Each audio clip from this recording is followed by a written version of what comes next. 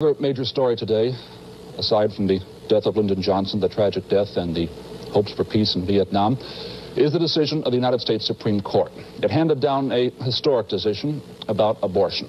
The court said in a 7 to 2 decision that in the first three months of pregnancy, only the woman and her physician may decide whether she may have an abortion. In the second three months, all the state may do is regulate abortion procedures. And only in the final three months of pregnancy can the state forbid abortion. It was 50 years ago. Supreme Court justices sided with a Texas woman who used the legal pseudonym Jane Roe against the defendant, Dallas District Attorney Henry Wade.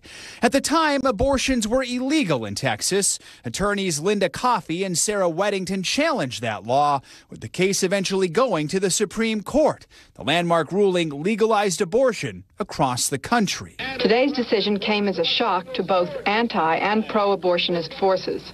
Well, it means that January 22nd, 1973 will stand out as one of the great days for freedom and free choice. This allows a woman free choice as whether or not to remain pregnant. This is extraordinary. How many millions of children prior to their birth will never live to see the light of day because of the shocking action of the majority of the United States Supreme Court today? Whatever their legal rationale, seven men have made a tragic utilitarian judgment regarding who shall live and who shall die. For some women, this law will mean the difference between having an abortion or not. For many others, the law will mean simply having the abortion in their own state instead of traveling to another state like New York.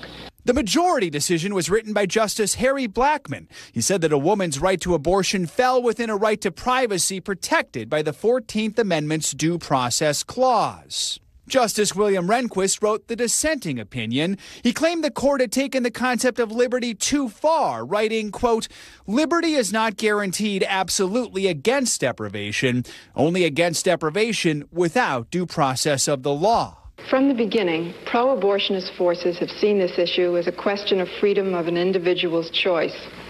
The freedom to have an abortion is now legal in every state. The basic legal fight is, in effect, over.